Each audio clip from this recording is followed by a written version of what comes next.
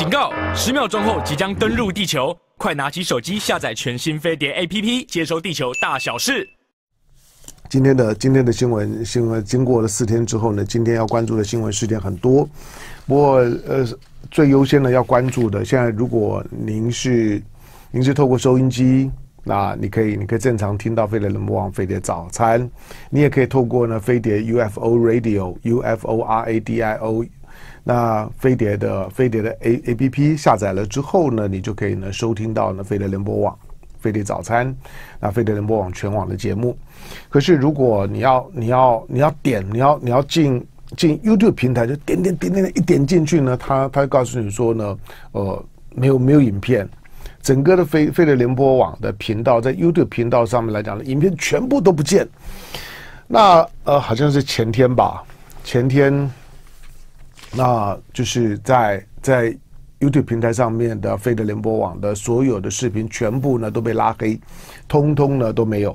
那因此我们也也看到有听众朋友们呢在网络上面留话，就是说飞碟怎么了？飞飞碟怎么了？第一个飞碟不会不会不会倒了，第二个飞碟嗯，即就即使会也会也会承受很多的外部的压力，比如说被罚五十万呢。我我是说我好，比如说。比如说这种的这种的文文字狱语言狱，OK，我反正就就是认认认定的，我就是要要要罚你。这就是这个呢，当然也就是也就再一次反证的，就是说待会儿会谈到的，为为为什么就是说国民党呢去去占领了立法院的议场，一定要挡住了监察院的人事，这跟呢中选会是一样的。中选会理论上来讲应该超越党派。那现任的主委呢，李李进勇，李进勇。先生，他的党籍过去呢，也也受到非常多的质疑。可是，当你看到就同样的一个案子，我不说对错了，也不说这个这细节的问题，同样的一个案子，按程序上面来讲，过去 OK 先丢给呢一个飞碟所在地的台北市。因此呢，既然认为呢违反选罢法，当然先丢给台北市选委会，由台北市选委会的选监小组开会，那把唐湘龙讲话的袋子听听。听完了之后呢，由地方的选委会呢选定小组先开会决决定，选委会呢开完会就觉得，嗯，唐唐江龙这段话呢，那构不构成了违反违反选选罢法，该不该重罚他？但是呢，但是呢，台北市选选委会呢听完了之后，我的我听说了，我事后问的，因为在当时我根本不知道哈，我我听说。事后他们说听完了之后说，那这这有这这这有什么好好罚的？这根本根本也没有没有没有违没有任何违反选罢法的地方，不能够只听到民调两个字就就说人家违违法。那台湾台湾该不该有这种就是所谓的所谓的这种的民调的民调的缄默期？本人是是很有意见的。那没关系，法律规定就法律规定，重点是法律规定是这个样子。但是唐江龙的说法有没有违法？台北市选委会说没有事，然后呢就就就发函，因为这这过程我完全都不知道，所以你不要说唐江龙去运作，没有我我我没没那个本事。台北市选委会台北市长是柯文哲，我到现在为止跟柯文哲都都没有讲到话呢。好，那。好吧，那台北市选委会呢，就就就是直接呢就回了中选会说呢，这个呢就说呢裁定就不罚。好，但是没没有想到，隔了隔了没没多久，中选会造罚，所以台北市选委会呢看到新闻也吓一跳。台北市选委会说啊，我们不是都裁定不罚了吗？我后来听听说，听说台北市选委会呢又又火了，又又发了个函呢给给中央选委会说，以后如果说你认定要要罚的。不管我怎么跟你跟你解释，你既然交给我交给我地方的选委会呢，要去做调查，我调查完，我们我们听完，我们裁裁处不罚。但是如果你坚持要罚，那中央呢跟跟台北市选委会的落差呢这么大，对同一件事情，对同样的一段话的落差这么大，对法律的见解落差这么大，那以后你自己调查就好了。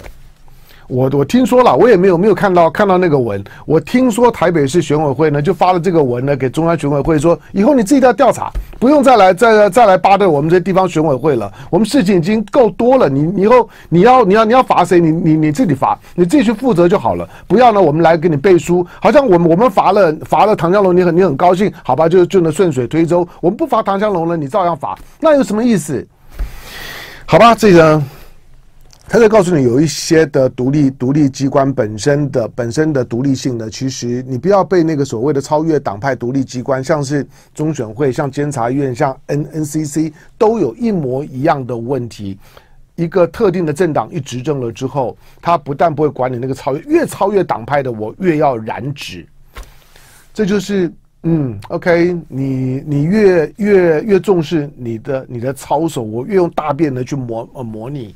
你越越洁身越洁身自好呢，我越想把你拖进一个大染缸里面，把你给给给毁了。好，那这些呢，当然都是呢，现在呢，在台湾政坛政坛上面导致呢，所有的政治风气呢，政治风气崩溃，然后呢，整个的政治标准荡然的关键的原因。不过这些。都跟飞碟联联播网的消失没有关系。好，现在如果你听得见呢，飞碟联播网听得见飞碟早餐，那第一个，如果你要你要你要看看现场的直播，如果你觉得每一天没有没有看到唐江龙，就觉得很很难过，那那今天请你进进 Facebook，那我们在 Facebook 的飞碟联播网的平台上面呢，现在在开直播，把直播开在这里，然后之后我们会再把这个直播的视频会在会在。会再转到，因为飞的联联播网，飞的联播网不见了，飞的联播网死了。好的，我们会会把会把会把这个重会把重点呢会会在呢会在摆到呢观点平台上头。观点观点还活着了。那因为刚刚电台呢希望呢我我稍微解释一下呢，那在飞碟联播网在 YouTube 平台上发生了什么事？好，来，那 YouTube 呢发了。YouTube 发了发了这个通知啊，发了通知 notice 啊给飞碟电台，说仅此通知您啊，因为这个是影音出来的，我让大家看一下，这在 YouTube，那上面呢，上面这这这段话，我要我要稍微念一下，仅此通知您，由于您屡次或严重违反社群规范。那什么是社群规范呢？好，以下的网址哒哒哒哒哒哒哒哒。好，因此您的 YouTube 账户飞碟联播网已遭到停权。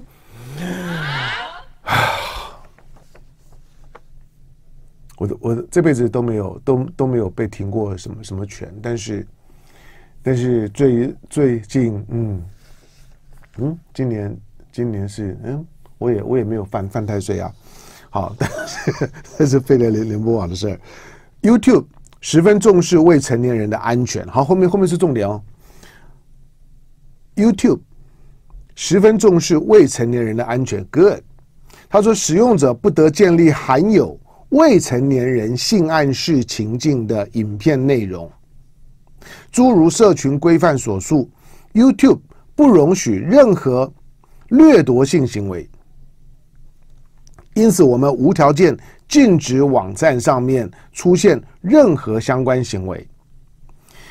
那这段话的意思就是说，飞碟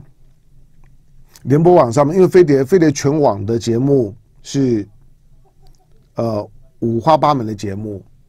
那到底是哪一个节目的什么的内容去去去碰触了这个规范，那违反了未成年人的。性暗示的情境，就是有关于未成年人性教育的问题。好，他说，那那不知道哈，这个的大概还在还在还在跟跟 YouTube 平台在了了解当中。好，那因为我们我们最最近今天早上电台里面大家就在互相的怀疑是谁是谁干的，是谁干的？把因为因为他一定一定是最最近的事儿，是谁干的？把把所有的这些影片啊。上传的影片节目内容调出来看看，到底是谁害飞碟呢？被砍头。好，那他说，请注意，您不得存取、拥有或建立任何其他 YouTube 账户，你知道吗？换到今天，当当飞碟呢，啊，不能说被砍头，被关紧闭，被关紧闭，呃，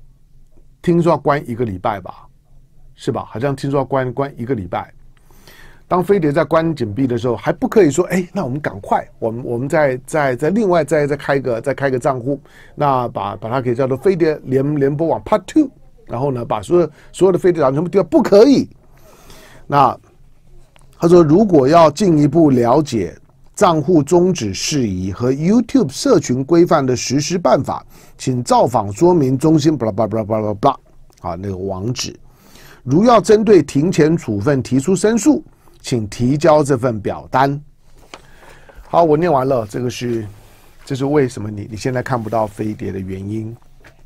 但是，请你进 Facebook。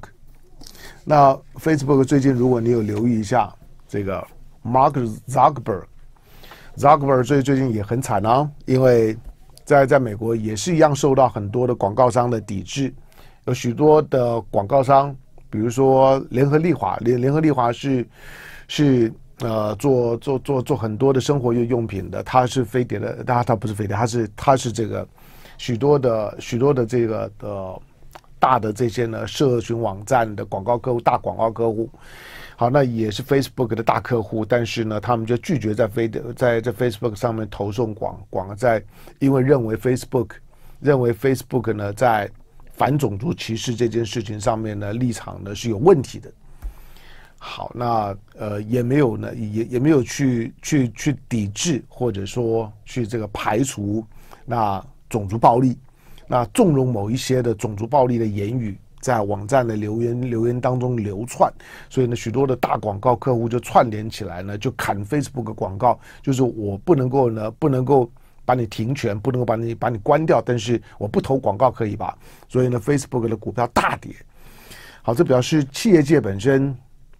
在面对大是大非的时候呢，呃，你的。你的金钱、你的广告的投放，它仍然可以去凸显你自己的价值，那这个呢是好的。那而且不不是在不是在在政治意识形态上面，而是在某一些的人类的共同的精神文明有关的价值上面。进广告，回头之后提供其他新闻。欢迎回到飞碟播网飞碟早餐，我是梁家龙。你现在没有没有办法在 YouTube 平台上面看到看到飞碟联播网，飞碟联播网呢被 YouTube 停权，可能要一个礼拜的时间。我不知道现在还在还在了呃了解问题，了解到底是到底是是谁干的，到底是谁？这个在一个在一个在一个媒体的一个直播平台上面来，风险很高啊，因为因为。因为飞碟的主持人五花八门啊，你哪晓得哪个哪个主持人在什么时候呢？那每每天呢都有节目，二十四小时都有节目，你哪晓得在在在什么时候在哪一个频段上面，那哪一句话哪一段的这个这个节目呢出了问题，就是触触动了，就是说呃熔断，这这算是一种的一种的 YouTube 的熔断机制，就是碰到了之后呢，它就咚，就是那保险丝呢烧了，烧了之后呢就被熔断了。好了，对了，呃，这个对对对对飞碟的就 YouTube 的观众朋友来讲呢，可能会会会是一个蛮大的困扰，但是没有关系，你可以呃稍晚的时候的稍晚的时候观点，你还是可以看得到呢。飞碟联联播网呃飞碟早餐的节目，那同时呃待会儿九点半钟九点半钟今天礼拜一的时间有正金龙凤配，今天的新闻其实非常非常多啊，重要的一些新闻，两岸的。呃，比如说大陆现在整个的长长江流域，长江流域现在正在面临到面临到呢，呃，现在正在汛期。那这个汛期的汛呢，在台湾呢，台湾当然五月之后也开始进入到了防防汛期。这个是这是韩国瑜在被罢免之前的时候呢，对高雄做的最后一最后最后一件功德。好了，这一年多的时间，我说了，韩国瑜带着他的市府的团队，三个很棒的副副市长。虽然韩国被罢免了，这个市府团队呢被解散了，但是呃高高雄市民如果如果未来嗯没有如果遇到一些的比较大的一些的一些的一些的意外事件的时候，那回头回头看看想想看啊这个团队在这段时间默默做的事情。好，那但是今天的今天的重点啊在。各报都一样了，各报今天做今天不管是中国时报、自由时报、联合报的头版的新闻都一样，都是反陈局，蓝军突袭夜宿占领一场。那立法院协商要开临时会前夕的时候，国民党出招，因为民进党想要在临时会的时候要霸王硬上弓，回查给不着，霸王硬上弓啊，横财入灶啊。要通过监察委员，尤其是陈局的监察院院长的人事，在昨天以前，我我认为陈局当监察院长当定了，因为我认为国民党没有那个底气。我认为，我认为国民党现在风雨飘摇。我认为国民党三十几个委员聊备一格，当选算运气，但是没有士气。好，但是昨天的这个动作让我觉得，嗯，不错。我看到那样的镜头，我看到你们的你们的诉求。我觉得国民党成为台湾政治的防腐剂这件事情，我觉得国民党开始发生作用。国民党要成为台湾政治的叶克膜，在台湾的台湾的政治一塌糊涂，台湾的所有的政治标标准漂移践踏，几乎都都是纵容今天的。今天的蔡英文在狂胜之后，我爱怎么说就怎么说，我爱怎么做就怎么做。所有的所有的这种的政党政治的机制几乎都不见。那在过去，在我二三十年在从事媒体工作，也在观察政治的经验，我说过了，过去当民进党在野的时候。我我之所以希望看到政党轮替，是因为我痛恨国民党里面的那种的黑金腐败，那种的那种陈陈腐的老旧的气息。知道就是说呢，台湾的未来如果呢在二二零零零年在当时没有政党轮替，如果继续交给国民党，国民党整个的整个台湾也就继续呢被这种的黑金力量把持。而把持这股黑金力量的精神导师是李登辉，而国民党在在内部是没有任何人敢去挑战李登辉的权威，因此呢，纵容整个的整个的黑道跟金权的力量，那盘根错错解的控制的就是台湾的台湾的政治跟所有的社会资源的分配。好，那在当时的民进党的很多的很多的诉求，党政军退出三台啊，党政军退出校园啊。呃，废除刑法一百条，百分之百的言论言论自由啊！天哪，就就是对对我来讲超有超有吸引力的这种的口号喊喊出来之后震天嘎响，尤尤其在我的时代，野百合学运起来那种的万万年国会啊，一定要改选，超有说服力的。本人即即使来呃来自于谈不上是深蓝。即即使是一个一个国民党老兵带大的孩孩子，本人在年轻的时代，对于这些的口号，虽然不会呢去跟爸爸呢去吵架，但是呢，对于对这些的对这些的口号，觉得嗯，你在理智上面可以说说服我。可是今天，同样的一群人，同样的一个党，过去曾曾经说服我的事情，今天俨然对我都都是一种一种一种用百分之百的欺骗。在过去呢，讲得出这些话的人，今天呢，都在非常不要脸的，在做一些背道而驰的事情。我当然也知道，在这现在的年轻的年轻的世代，我不要说说这些年轻人都被洗脑，或者或者怎么样，这个这个判断呢失之武断。可是回到一个像我年轻时候的那种，对于某一些基本价值的诉求，你会觉得虽然。虽然我跟他们没有什么渊源，虽然在政治立场可能不一样，可是那个那个诉求，就整个的台湾，就整个国家体制的重建跟发展来讲是需要的，是对的，我就会支支持你。当国民党很烂，我就会希望你你赶快滚蛋。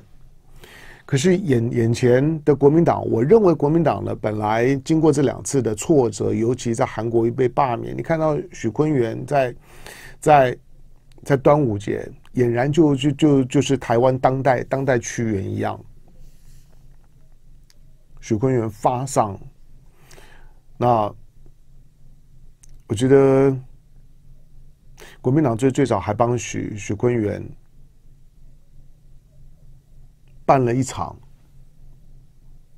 对得起许许坤元的丧事。好，那当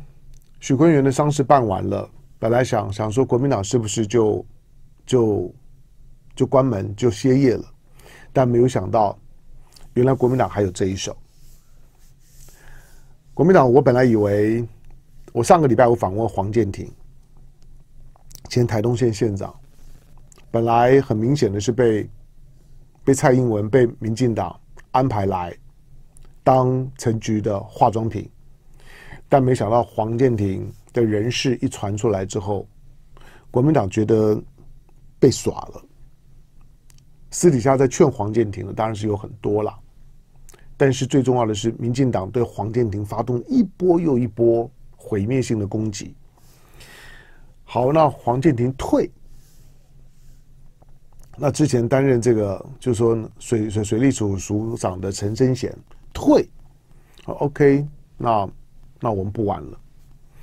好，但是民进党照样开临时会，准备要通过一个没有副院长的一个院院长陈局，以及呢。绝大部分、绝大部分呢，都是绿的不得了的监察委员，基本上个个都是小城市梦的监察委员的名单。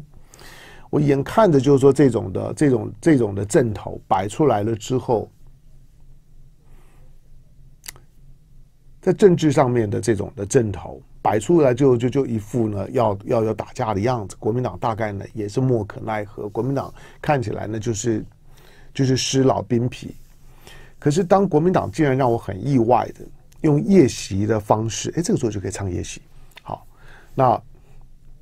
攻进了立法院的议场，反锁，然后开始了长时间的抗争。我发自内心的跟你们说，你们也也也许听得到唐香楼在早上的这个时间。你们也许可以透过一些视频，很抱歉，今天的今天的飞啊飞的联播网刚好呢刚好坏掉，但是请你看 Facebook。本人仅代表我个人跟支持我的观众朋友们向你们致敬，请你们一定要相信你们在做一件超级对的事情。如果这样子一个监察院就这样子过了。如果陈局的案子就这样子过了，那第一个要要在野党干什么？第二个，台湾还有什么政治是非？民进党爱之欲其生，恶之欲其死啊！蔡英文要要用怎么样的言语去包装、去神格化、去美化陈菊？这个是蔡英文的嘴。蔡英文连陈明文都都像神一样，你想这陈菊又又算什么？我说陈明文、陈陈菊、蔡英文旁边的二陈，铜雀春深锁二陈。那蔡英文旁边的二陈，陈明文、陈菊，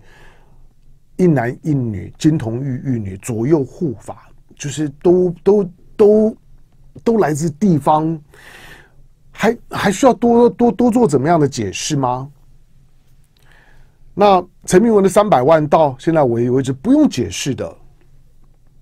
那个就已经是已经是洗洗钱，连连连连司法，连法务部的次长蔡必仲都要出来为他擦脂抹粉，这老好朋友吧？这样子党还有救啊？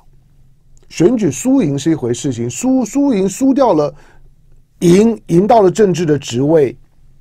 但是。闽南话讲，唔当赢叫个赢威，不要不要赢了之后还要嘴嘴巴上面哦，吃人家豆腐碎碎念。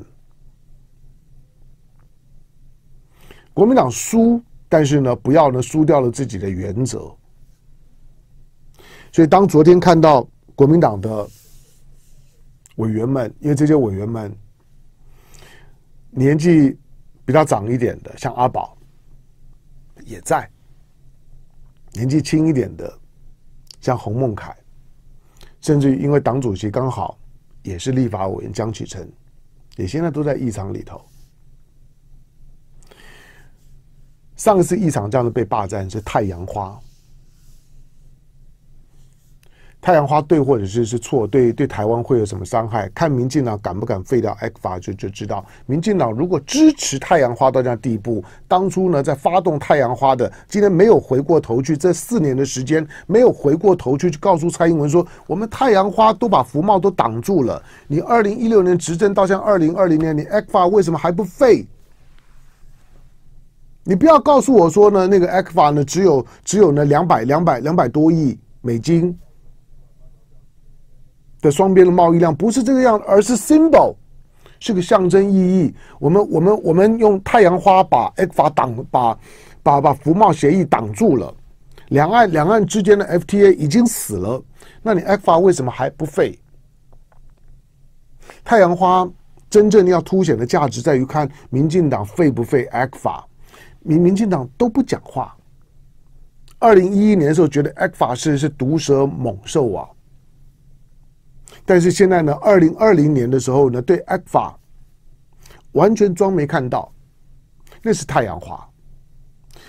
但太阳花毕竟是一个两岸的两岸政治问题所衍生衍生出来的街头上的政治操作，年年轻人是被利用了？是不是呢？感受到这种就是说呢，一个一个政治运动把某一个对的方向跟趋势给给毁了。年轻人让年轻人自己去做判断。国民党在当时，马英九应对这件事应对的非常差，最后呢把自己也也搞垮了。可是这一次，国民党的几位的委员在临时会开会之之前，进到议场里头，最后能不能够把陈局这么烂的人事案挡住？看你国民党本本身，你准备为为这件事情，你要。你要付付出呢多大的代价、体力、心力，在这种的人间六月天，端午节刚过，天气这么热，晚上没有冷气，要待在那样的一个异常里面，不容易啊！我给你们拍拍手。虽然我我我会我再想想看看，还还还能不能再再再帮忙什么？我只是说。这些国民党的委员们为为什么要用这种方式来凸显？因为现在不是太阳花的时代，现在是太菊花的时代。陈菊，监察院院院长，台湾的政治也未免太菊花了一点。太菊花是必是必必须要检讨的，是必须要要矫正的。如果黄建庭。的那些都无罪的案子，跟他也没有关关系的，像是美美丽湾的开发案，民进党都要大做文章，而你们回过头去对陈局所有在高雄市长任内的这些的被纠举的、被纠正的一狗票的案子，竹帆不及被宰的，都装没看到。那我也只能够回回头那那那句话，我还是很佩服民进党的朋友的。我常常说，国民党需要道德勇气，国民党要有道德勇气，对的就就是对的，该做就做，要不然你一定不不是民进党对手，因为民进党有一种更大的勇气，叫做不道德的勇气。你知道，在一个在公共平台上面不道德的勇气，像像唐江龙每一天好像都在都在高举某些政治标准，这不厉害，因为大家都知道那本来就是对的。你听唐江龙在讲，顶多你会觉得说唐江龙狗吠火火车，讲了半天之后，你对民进党讲有什么用？但是你要佩服民进党，是民进党有不道德的勇气，明明知道大家听你看这个人人事案，看你做做这件事，听你讲话就想吐口水。你还敢说？你还敢做？这种不道德的勇气，就是帮派文化。帮派就是一种不道德勇气的集合体。我们杀人，我们放火，我们都可以。我们是一挂的。我们把这件事情合合理化，管你法律规定是是什么，管你我过去讲过什么，管你我们所标举的价值是是什么。道德勇气不见得是那种不道德勇气的对手，但是让大家看看。民进党的不道德的勇气多么的可怕！进广告回头聊。八点五十五分四十二秒，好，待会儿九点半钟的时间还有震惊龙凤配在 YouTube 平台、观点平台上头，好，所以不管是不管是现在的、现在现在的国民党在议场里面的持续的抗争，好，这待会儿我和和凤兴我们会好好谈。另外，呃，我我觉得我觉得待会儿的震惊龙龙凤配，我想要花一些时间。去去谈一下现在大陆的大陆的洪水。那你在你在你你在这几天的时间，你看台湾的新闻，第一个你会你会看到很多幸灾乐祸的声音，觉得哇，大陆快要完了，到处都都在在淹水，三峡三峡大坝快溃堤了，你们赶快逃啊！几亿人，长江长长江上下九省，那个有多少人啊？三峡，三峡大的大坝呢，在宜昌，宜昌，宜昌下来第一个大城市就是武汉。他说武汉完了，武汉呢之前呢躲过了疫情，现在躲不过灾情。再下去呢，洞庭湖、鄱阳湖，然后呢就直接冲出去呢，到上海，上海也完了，一定所有的大楼都被冲到海海海里去。这种话你大概最近常常听，就觉得第一个那种那种那种讲话的口吻不是悲天悯人而是幸灾乐祸。那。第二个呢，对于三峡三峡大大坝的那种的灾难灾难性的预言，